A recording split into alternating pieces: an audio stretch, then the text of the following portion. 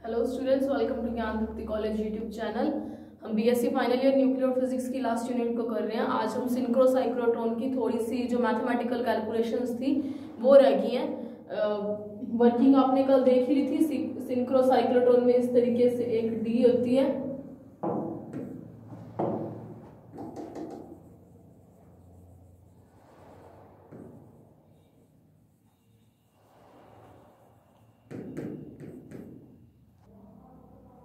देखो सिंक्रोसाइक्लोट्रॉन की स्ट्रक्चर कैसे होती है? एक डी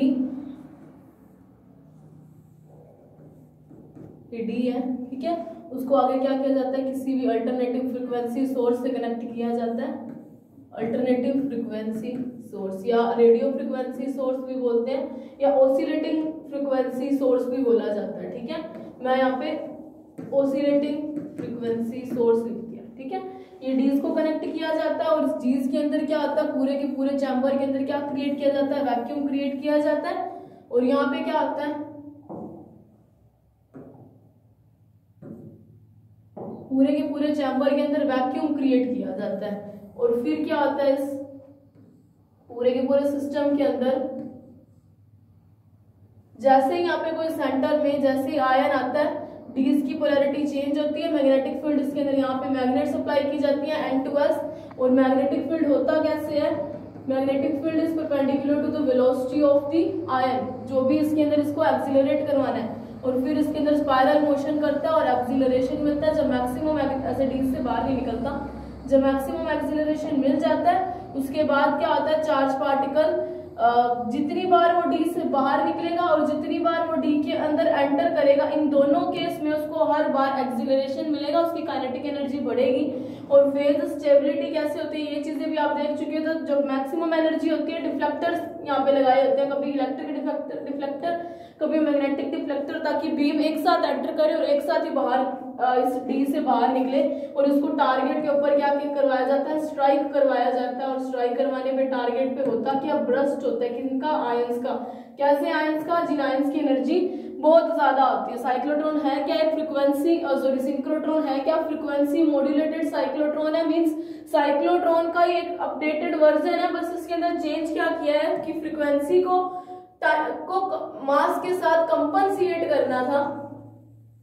ठीक है, इस कंपनसिएशन के लिए क्या किया? दो चीज़ें कर सकते तो एक तो बी को चेंज किया जा सकता था, दूसरा जो एसी सोर्स की फ्रीक्वेंसी को चेंज किया जा सकता था तो सिंक्रोट्रॉन में यूज़ किसको किया गया? इस कॉन्सेप्ट को कैसे किया गया कि ये जो एसी वेव है, वहाँ पे ज़ीरो सॉरी ज़ीरो ये थर्ड पोजीशन दिखाई थी और मैंने फोर्थ पोजीशन दिखाई थी। इन दो पोजीशंस के बीच में ऑसिलेट करता रहे ताकि वो नेगेटिव पोटेंशियल में जाके फ़ेज़ आउट की कंडीशन कभी ना बने।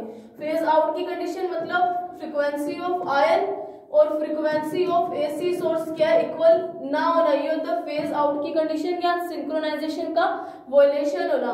तो एसी वोल्टेज को इस तरीके से यहाँ पे चेंज किया जाता है इस पर्टिकुलर टाइम पे कि हर बार पार्टिकल की वेलोसिटी बढ़े, जब वो डी से बाहर निकले और इसके अंदर डी के इस सिंक्रोट्रॉन में एक्सीलरेशन कैसे मिलता है? जैसे ही कोई आयन इस डी से बाहर निकलता है तब उसको एक्सिलेशन मिलता है और डी के अंदर एंटर करते टाइम दोनों टाइम एक्सिलरेशन मिलेगा क्योंकि पोलैरिटी चेंज होगी।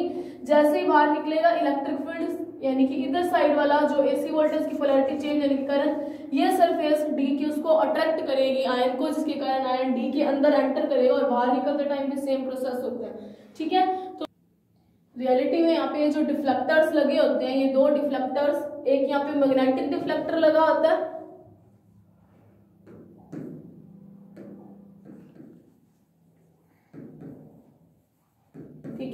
दूसरा यहाँ पे इलेक्ट्रो स्टैटिक मतलब इलेक्ट्रिक डिफ्लेक्टर लगा होता है। इन दोनों का काम ये होता है कि जब सिंक्रोट्रॉन के अंदर ऑलमोस्ट पचास हज़ार साइकिल लगाते हैं आयन इतने ज़्यादा चक्कर लगाने के बाद क्या होता है आयंस की एनर्जी बहुत ज़्यादा बढ़ जाती है। एनर्जी बढ़ना मतलब कि उनकी वेलोसिटी बहुत ज़्यादा बढ़ जाती है। जब इतना हाई वेलोसिटी वाले आयंस आ जाते हैं तो इन दो डिफ्लेक्टर्स का यूज़ इसलिए किया जाता है कि वो ब्रस्ट करवा सके, किसके ऊपर? टारगेट के ऊपर। ब्रस्ट मतलब मैंने आपको कल बताया था कि बोम्बार्डिंग का मतलब तो होता है इस तरीके से पूरी की पूरी सरफेस पे फैल जाना।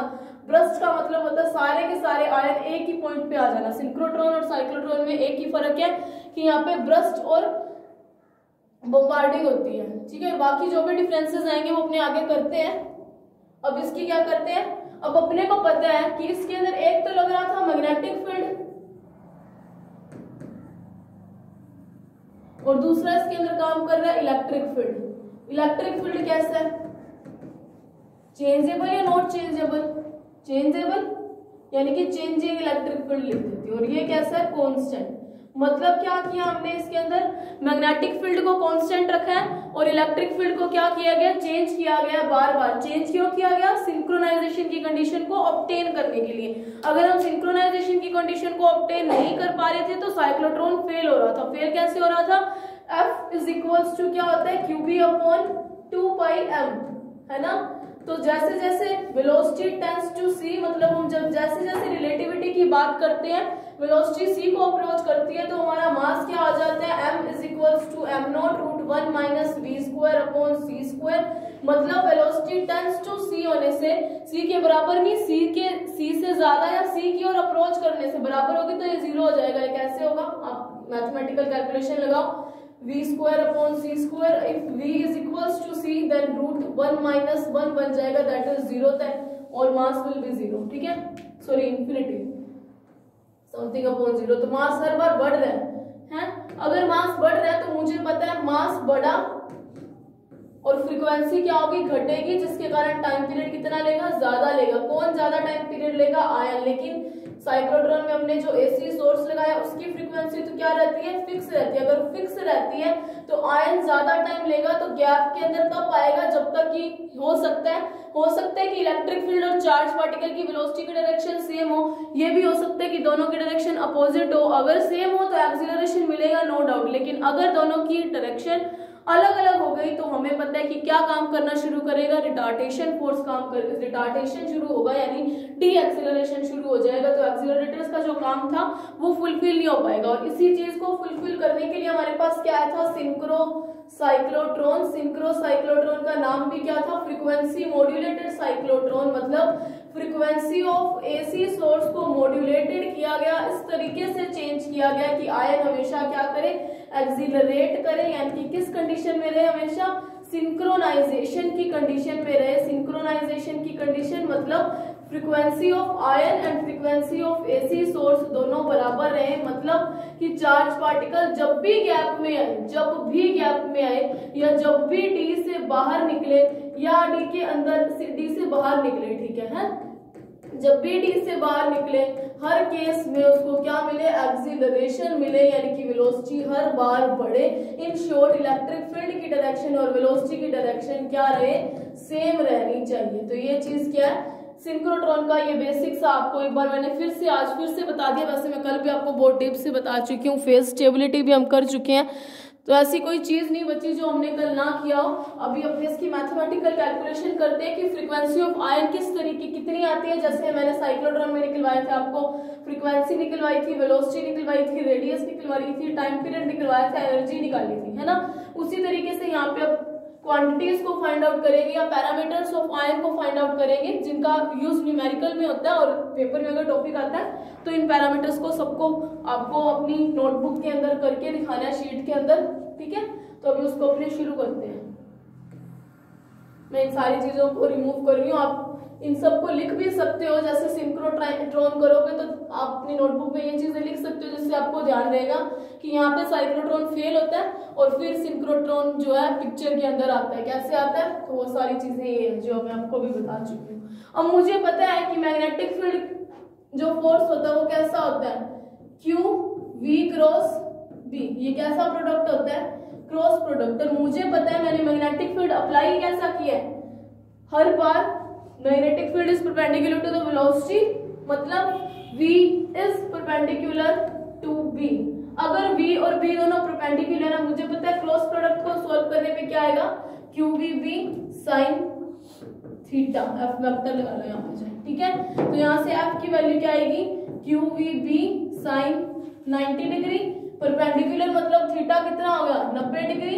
अगर थीटा 90 डिग्री तो एफ़ की वैल्यू क्या है? क्यू वी और B sine ninety is one इसको आप दे लेना इक्वेशन नंबर वन फिर आप थ्योरेटिकल लिखोगे, क्योंकि मुझे पता है, हमें पता है कि मैग्नेटिक फ़ील्ड क्या काम करता है।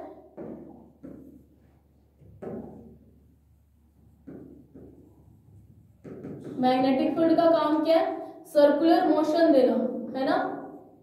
सर्कुलर या स्पाइरल मोशन किसको देना? आयंस को।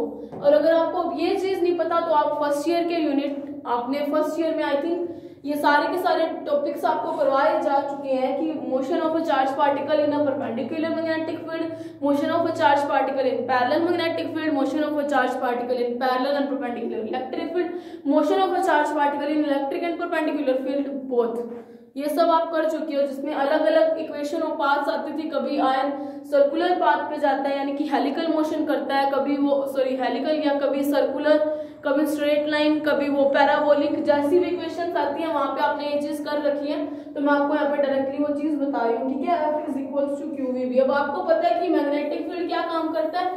सर्कुलर मोशन या स्पायरल मोशन देता है। और हमें पता है कि जो सेंट्रीपिटल फोर्स होता है, वो भी कब काम करता है? जब हम कैसी मोशन कर रहे होते हैं सर्कुलर मोशन करते हैं। तो अपने को पता है तो फिर सेंट्रीपिटल फोर्स किसके इक्वल आएगा? सेंट्रीपिटल फोर्स होता कितना है? हमेशा इसकी वैल्यू आपको पता है M V square upon R और ये कब कब काम करता है? यानी कब सेंट्रीपिटल फोर्स आता है हमारे पास? जब हमारी मोशन कैसी हो रही है? सर्कुलर मोशन हो रही हो। अगर सर्कुलर मोशन होती हो, उस केस में हमारे पास काम कौन सा करता है? मैग्नेटिक फ़ील्ड है ना? और हमें पता है कि सेंट्रीपिटल फोर्स भी सर्कुलर मोशन के टाइम ही किसी ऑब्जेक्ट को यूज़ यूज़ आता है। तो मतलब अगर सेंट्रीपिटल फोर्स काम क्या करेगा? सर्कुलर मोशन देना मैग्नेटिक फ़ील्ड काम क्या कर रहा है? सर्कुलर मोशन देना मतलब दोनों एक दूसरे से क्या होंगे? इक्वल होंगे? तो फ्रॉम इक्वेशन नंबर ये चीज़ें आपको थ्योरेटिकली लिखनी है। तो अपने को पता है magnetic field as a centripetal force भी काम कर रहा है, क्योंकि दोनों का काम ही सर्कुलर मोशन देना होता है। तो Q V V from equation one and two लिख देना यहाँ पे। One and two Q V भी किसके इक्वल आता है? M V square upon R के, एक वी से एक वी कैंसिल तो बचा क्या मेरे पास? Q V is equals to M V upon R अब यहाँ से आप दो चीज़ें फाइंड आउट कर सकते हो. एक v की वैल्यू कितनी आएगी? Q B R upon M और दूसरी क्या फाइंड आउट कर सकते हो? R की वैल्यू कितनी आएगी? M V upon Q B यही चीज़ आएगी? अब देखो, अपने इस इनको आपको इक्वेशन दे लो, इसको इक्वेशन थर्ड दे लो इसको दे लो इक्वेशन नंबर थर्ड बी ठीक है? अब मुझे पता है कि सिंक्रोट्रॉन क्यों पिक्चर में आया? सिंक्रोट्रॉन किसकी ज़रूरत क्यों हमें पड़ी? क्यों पड़ी? क्योंकि साइक्लोट्रॉन फेल हो रहा था। अब साइक्लोट्रॉन फेल कहाँ हो रहा था? जहाँ पे हम रिलेटिविटी की बात कर रहे थे। जहाँ पे हम रिलेटिविटी की बात कर रहे थे मतलब हमारा v tends to C v is equals to C और v is approaching to C और v is more than C मतलब उस कंडीशन में हमारे पास किसकी कंडीशन आई? साइक्लोट्रॉन की फेल होने की। फिर हमें ज़रूरत पड़ी कि इसको किसी तरीके से सेट करना है। इसके लिए नया इंस्ट्रूमेंट आ गया जो सिंक्रोनाइजेशन की कंडीशन को बनाए रखे। सिंक्रोनाइजेशन की कंडीशन बनाए रखने वाला साइक्लोट्रॉन था। इसीलिए इसका नाम सिंक्रो साइक्लोट्रॉन रखा। और फ्रीक्वेंसी मॉड्यूलेटेड क्यों रखा? क्योंकि फ्रीक्वेंसी को मॉड्यूलेट करके सिंक्रोनाइजेशन की कंडीशन को बनाया रखना था। अब हमारी वी टेंस टू सी है मतलब पूरे के पूरे डायरिवेशन में हम कहीं ना कहीं सी को लाएँगे। ठीक है? तो मुझे पता है, ये दो इक्वेशन आप ध्यान रखना, मुझे पता है वी कितना होता है? उमेगा इंटू आर होता है? होता है? और मेरा वी निकला कितना है?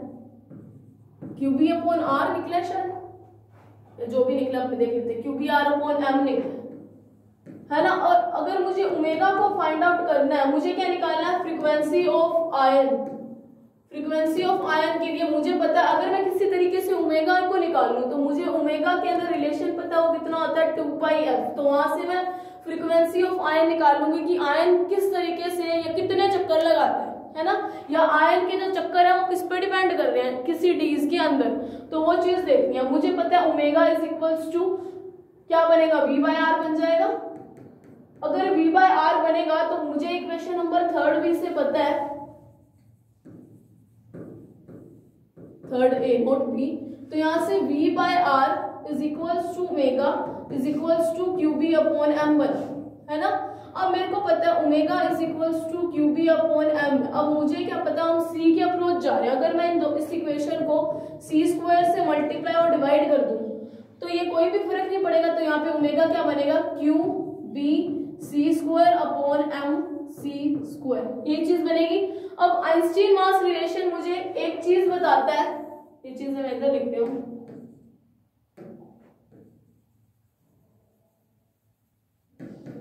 आइंस्टीन मास रिलेशन। वो मुझे क्या बताता है? एनर्जी इज़ इक्वल टू किसके इक्वल होती है? एम सी स्क्वायर की, है ना? तो यहाँ पे वही चीज़ बन रही है। तो उमेगा किसके इक्वल आ जाएगा? Omega is equal to Q V C square upon E. यही चीज़ बनेगी। अब मुझे एक और रिलेशन पता है। अगर आपको नहीं पता तो हम अभी उसको डिराइव करते हैं। अब मुझे तो ये भी नहीं पता चल सकता, आपको पता है नहीं। तो देखो, एक और रिलेशन होता है। Energy E is equal to कितना होता है? Root P square C square M naught square C की पावर फोर ये चीज़ें आती है ना, ये रिलेशन तो इस रिलेशन को अब अपने सॉल्व करते हैं। यही रिलेशन है या नहीं, मुझे ये भी नहीं ध्यान अपने उसको सॉल्व करके ही देख लेते हैं कि क्या रिलेशन आता है। मुझे एनर्जी पता है ई कितना आता है? एम सी स्क्वायर मुझे एम की वैल्यू पता है कितना होता है। रिलेटिविटी की बात कर रहे हैं ये। यानी कि सापेक्षिकता। मैं आपको एक चीज़ यहाँ पे ड्राइव करके दिखा रही हूँ। ठीक है, वो किस तरीके से होती है? M naught root one minus B square upon C square into C square मैं क्या करती हूँ इसको सोल्व करने के लिए? इसको ई e स्क्वायर कर देती हूँ। तो मेरे पास क्या आएगा? M naught square C square one minus B square upon C square तो यहाँ से क्या बनेगा? ई e स्क्वायर की value M naught square C square upon C square minus B square upon C square एक सी स्क्वायर से सी square cancel हो गया, है ना? सॉरी यहाँ पे अब सी की पावर फोर हो जाएगा ना? तो यहाँ पे बचा क्या? सी स्क्वायर बचेगा ओनली ये चीज़ एक बार आप। डायरेक्ट रिलेशन भी आप लिख सकते हो। मैं आपको एक चीज़ फाइंड आउट करवा के दिखा रही हूँ, वो चीज़ें मैं यहाँ पे लिखूँगी। ठीक है? तो ई e स्क्वायर की वैल्यू क्या आएगी?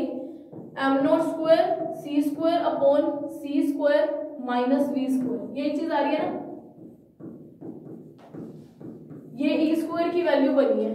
अब मुझे P पता है P कितना होता है? m into V that is momentum mass into velocity अब इसी को मैं क्या करूँ? c स्क्वायर में कन्वर्ट करूँ तो मैं P, C या m स्क्वायर कितना आएगा? सॉरी रुको एक मिनट। इसको क्या लिख सकती हूँ? m naught upon root one minus V square upon C square लिख सकती हूँ इंटू में एक v चल रहा है। तो यहाँ से p स्क्वायर कितना बनेगा? m naught square v square upon one minus V square upon C square. यही चीज़ बनेगी। अब मैं क्या करूँ? P square into C square कर देती हूँ। ठीक है तो यहाँ पे क्या बचेगा? M naught square V square C square upon one minus V square upon C square. मैं एलसीएम ले लेती B square upon C square तो सी टू सी कैंसल। तो यहाँ से पी स्क्वायर, सी स्क्वायर की वैल्यू कितनी आई है? M naught square V square upon C square minus B square अब इन दोनों इक्वेशन को घटाओ E square minus P square ये एग्ज़ाम के पॉइंट ऑफ़ व्यू से नहीं है। तो यहाँ से इसकी वैल्यू क्या आएगी? एम नॉट स्क्वायर एक सी स्क्वायर पड़ा V square minus C square तो देखते हैं इसकी वैल्यू क्या आती है। ये E square minus P square C square करते हैं अपने। देखो, इसको अब कैसे करते हैं, मैं उसको नेक्स्ट स्लाइड पे लिख रही हूँ, यहाँ पे थोड़ा ज़्यादा ही कचरा होगा। ये आपको पेपर में नहीं लिखना, मैं आपको ये सोल्व करके दिखा रही हूँ कि मैं ई e की वैल्यू क्या लिखूँगी। इसको आप इक्वेशन नंबर चार देख के एक बार छोड़ लो। अगर आपको करना हो तो आप कर लेना, नहीं करना हो तो आप अपनी नोटबुक के लास्ट में या साइड पे लिख लेना, जहाँ पे आपको सही लगे या बुक में लिख लेना। तो यहाँ से मेरे पास ई स्क्वायर की वैल्यू आई है एक। M naught square C square upon C square minus B square P square C square की वैल्यू क्या आई है? M naught square V square upon C square minus V square यहाँ से मैं E square minus P square करूँ P square सी square तो उसकी वैल्यू क्या आएगी? M naught square C square upon C square minus V square minus M naught square V square upon C square minus V square तो यहाँ से इसकी value क्या बनेगी? मैं एम नॉट स्क्वायर और C square minus V square ले लू कॉमन तो यहाँ पे क्या बचेगा? C square minus V square है ना? तो ये दोनों तो आपस में कैंसिल आउट हो गए। कुछ तो गलती हुई है यहाँ पे। सी की power four E square M naught square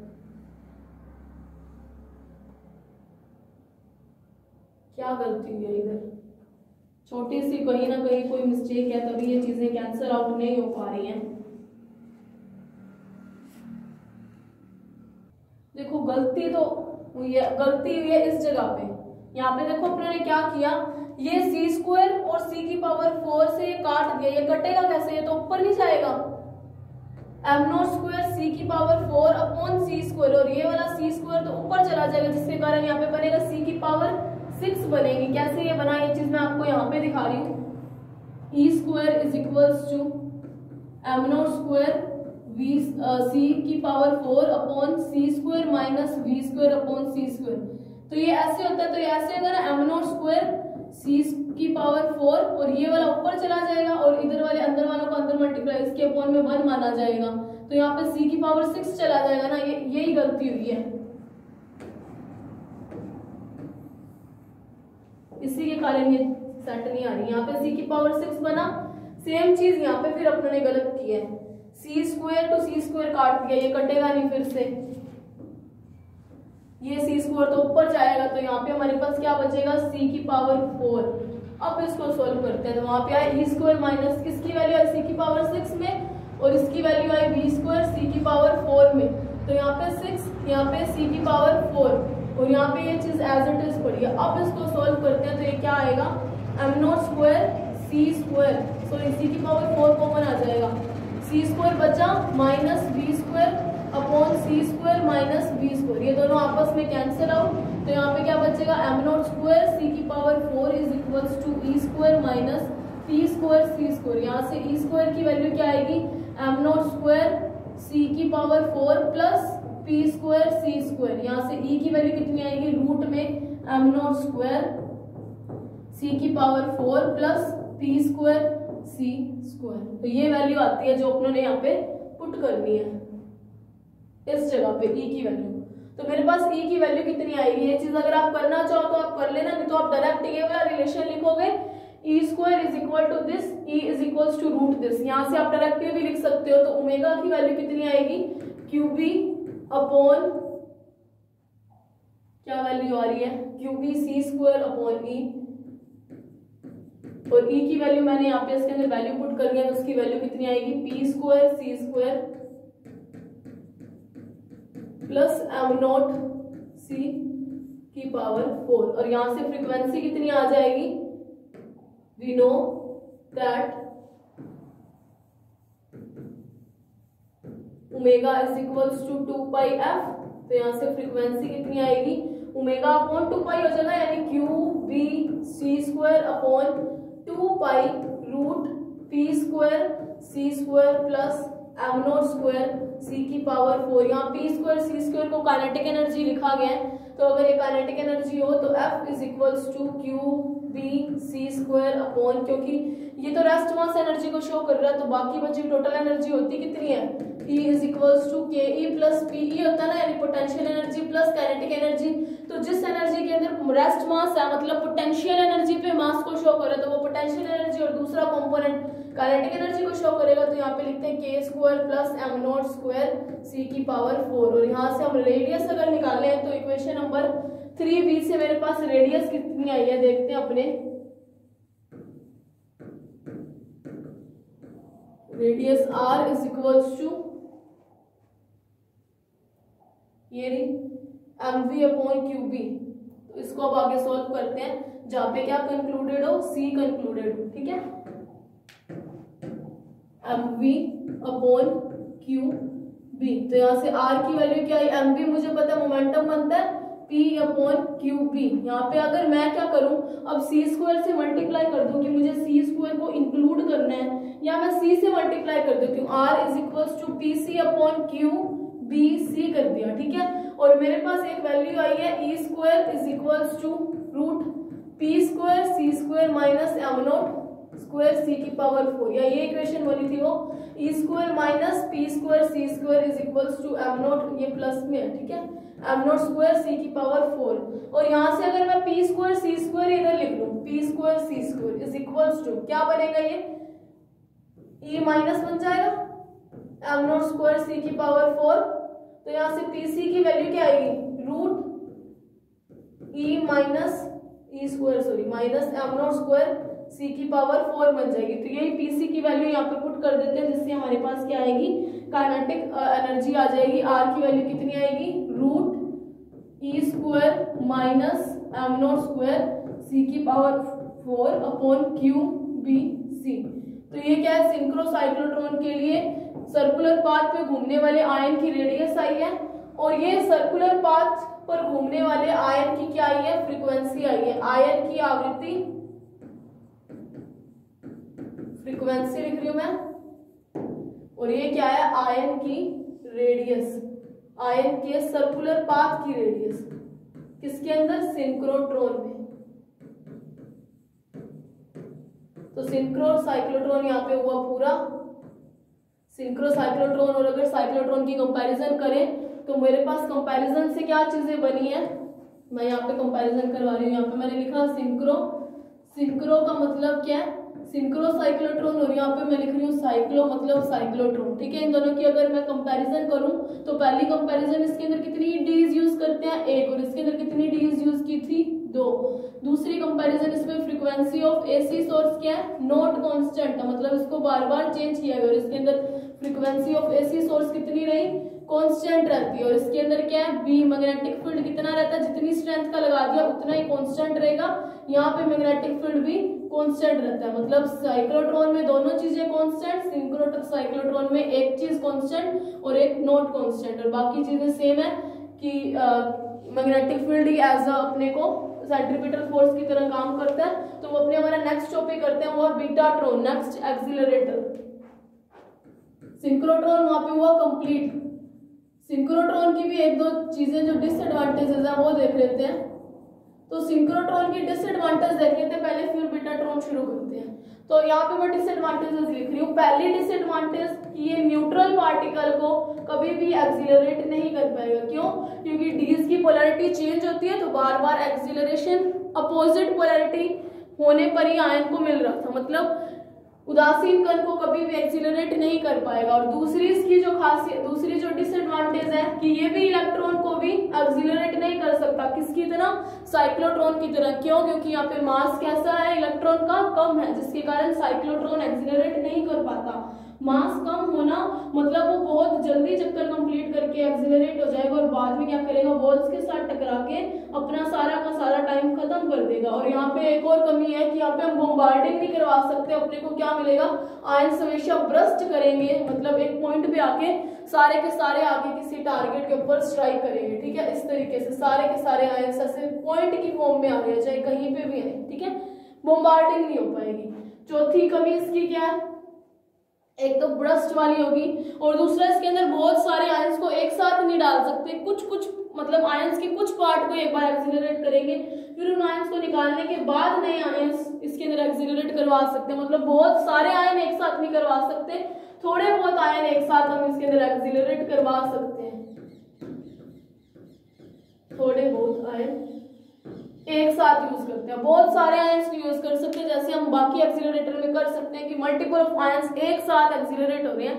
यहाँ पे मल्टीपल ऑफ़ आयंस नहीं होते, थोड़े बहुत आयंस एक्सिलरेट होते हैं तो ये उसकी कमी है, ये उन दोनों की आपस में क्या है मतलब इन दोनों की कंपेरिजन है। पेपर में दो नंबर में कंपैरिजन भी आ सकती है, किसी की कमियाँ भी लिखनी आ सकती है, और अगर इसके एडवांटेजेस देखें तो एडवांटेज एडवांटेजेस पहला ये है कि हम बी टेंस टू सी की बात कर सकते हैं। जब हम रिलेटिविटी स्पीड पर जाते हैं, उतनी ज़्यादा वेलोसिटी वाले आयंस को भी हम एक्सिलरेट कर सकते हैं, ना कि उनको रिटार्टेशन फोर्स मिलेगा मतलब उनको क्या किया जा सकता है? उनको भी हम एक्सिलरेट करवा सकते हैं। ठीक है, और यहाँ पे वोल्टेज जो है एक डी यूज़ की जाती है इसके कारण ये कि छोटे स्पेस के अंदर वैक्यूम क्रिएट करना इजी है और साइक्लोट्रॉन में दो डीज यूज़ की जाती है तो वहाँ पे इतने बड़े स्पेस में जो वैक्यूम क्रिएट करना थोड़ा टफ पड़ जाता है और यहाँ पे जो एसी सोर्स की वोल्टेज है वो चेंज ली जाती है उसको चेंज किया जाता है ये भी इसका एडवांटेज है जिसके कारण हमें क्या आ, मतलब अल्प मान की एसी वोल्टेज यूज़ कर सकते हो। ऐसी ऐसी वोल्टेज सप्लाई जिसकी वैल्यू बहुत हाई ना हो। तो ये सिंक्रोट्रॉन कंप्लीट होता है।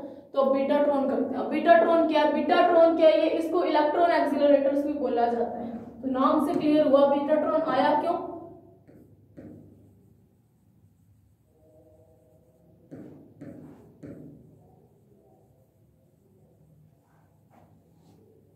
ठीक है? बीटाट्रॉन आया क्यों? देखो। सिंक्रोट्रॉन और साइक्लोट्रॉन दोनों की एक एक कमी थी। जो मेन कमी थी कि ये इलेक्ट्रॉन्स को एक्सिलरेट नहीं कर सकते थे। तो बीटाट्रॉन इसलिए आया कि इनकी दोनों की ये कमी को पूरा किया जा सके। कैसे पूरा किया जा सके? कि अब ये ऐसा एक्सिलरेटिंग डिवाइस है जो इलेक्ट्रॉन्स को क्या कर सकता है? एक्सिलरेट कर सकता है इलेक्ट्रॉन्स को त्वरित कर सकते हैं। अब देखो इलेक्ट्रॉन्स को कैसे त्वरित करते हैं? इसके अंदर देखो बीटाट्रॉन के अंदर इलेक्ट्रॉन्स को क्या किया जाता है? हाई एनर्जी तक एक्सिलरेट किया जाता है। मतलब इनकी वेलोसिटी को क्या किया जाता है? बढ़ाया जाता है। ठीक है? बीटाट्रॉन में क्या किया जाता है? इलेक्ट्रॉन्स को किसी हाई एनर्जी तक एक्सिलरेट किया जा सकता है मतलब उनकी वेलोसिटी को बढ़ाया जा सकता है। और फास्ट मूविंग जो इलेक्ट्रॉन्स होते हैं, अगर आपको पता हो ये चीज़ फास्ट मूविंग इलेक्ट्रॉन्स को क्या बोलते हैं? Electrons are called as beta particles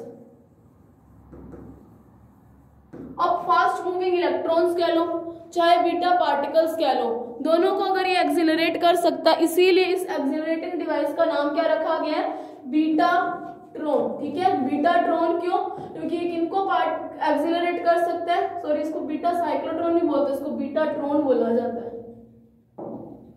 गलती से बीटा साइक्लोट्रॉन लिख दिया। Beta ट्रोन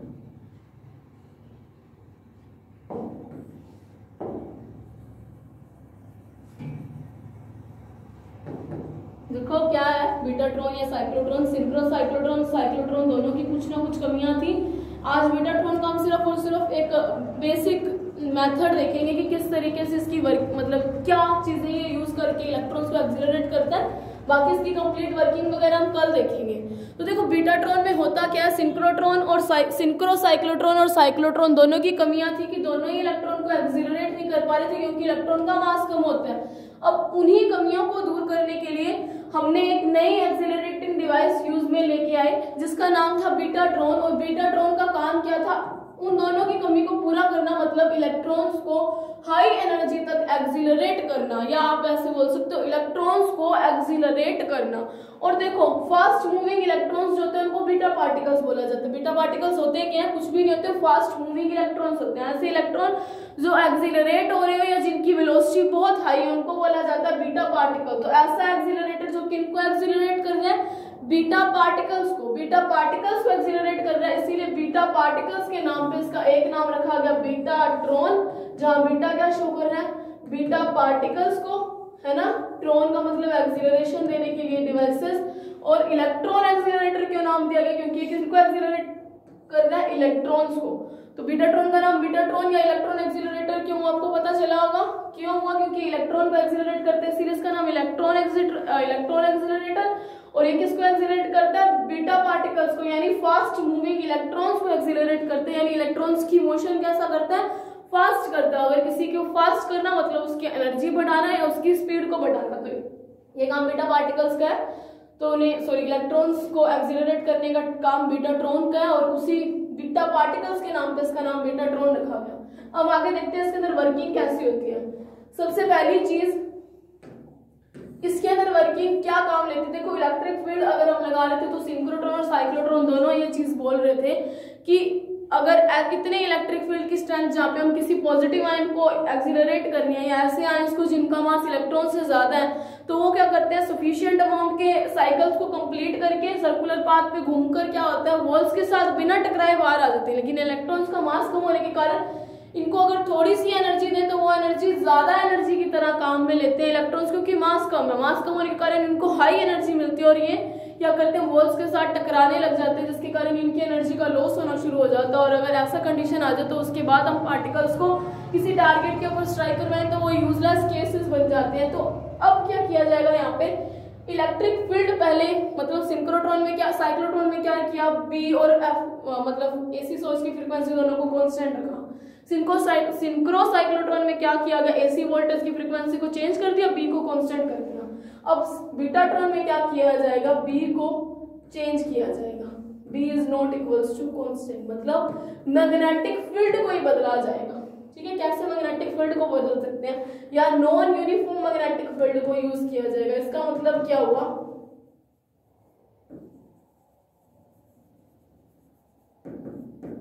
non uniform magnetic field का मतलब क्या हुआ? हम किसका यूज़ करेंगे? इलेक्ट्रोमैग्नेट का। अब इलेक्ट्रोमैग्नेट क्या होती है? आप सबको ये चीज़ पता होगी।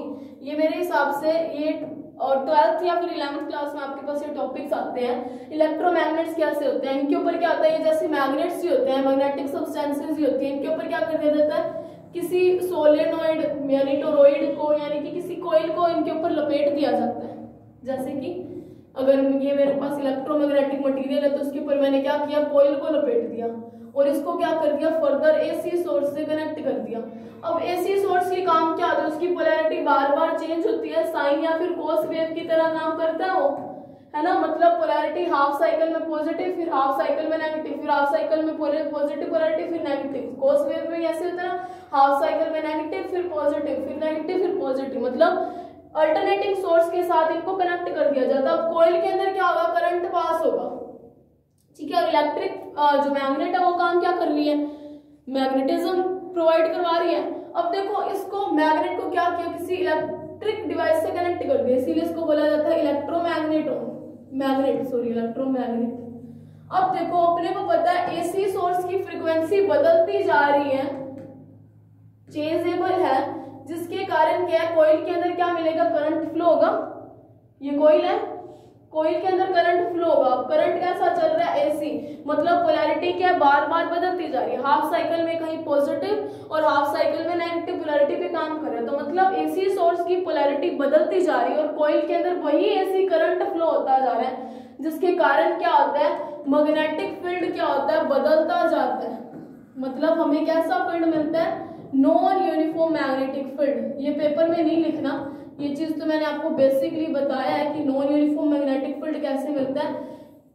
एम एफ़ लिख दिया मैंने, ठीक है? मैग्नेटिक फ़ील्ड मतलब जब किसी कोयल के अंदर, यानी कि अगर किसी मैग्नेटिक मैग्नेट के ऊपर कोयल को लपेट दें, या ऐसे सब्सटेंस के ऊपर जो मैग्नेटिज्म शो कर सकता है, उसके ऊपर अगर हम किसी कोयल को लपेट दें और उसको एसी वाटर सोर्स से अप्लाई कर दिया जाए तो एसी वोल्टेज सोर्स की पोलैरिटी बढ़ रही है मतलब कोयल बदल रही है मतलब कोयल में आने वाले करंट की वैल्यू भी बदलती जाएगी, जिसके कारण जो मैग्नेटिक फ़ील्ड होगा, या मैग्नेट से जो मैग्नेटिक फ्लक्स मिल रहा है मैग्नेटिक फ्लक्स की वैल्यू क्या होगी? चेंज होगी, और अगर मैग्नेटिक फ्लक्स की वैल्यू चेंज होना मतलब मैग्नेटिक फ़ील्ड चेंज होना मैग्नेटिक फ़ील्ड चेंज होना means no uniform magnetic field मिला मतलब जो हमने काम लेना है बीटाट्रॉन में बी को, क्या is not equals to constant तो वो काम इस तरीके से होगा। तो बीटाट्रॉन के अंदर सबसे पहली चीज़ ये होती है कि इलेक्ट्रॉन्स को एक्सिलरेट करते हैं और फास्ट मूविंग इलेक्ट्रॉन्स को बीटा पार्टिकल्स बोलते हैं और इसमें non uniform magnetic field use किया जाता है। मतलब कैसा मैग्नेटिक फ़ील्ड मैग्नेट को किसी कोयल पे लपेट के, ताकि कोयल में ऐसी करंट अलग अलग